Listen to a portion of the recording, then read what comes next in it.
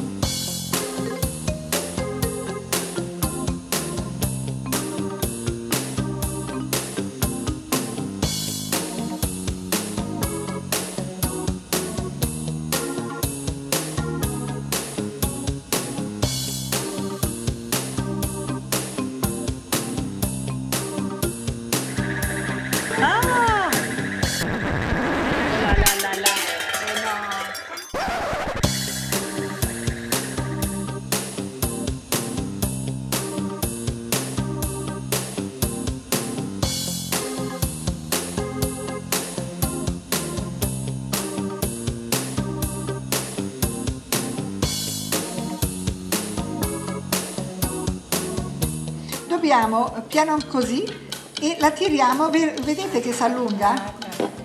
Vedete che si allunga?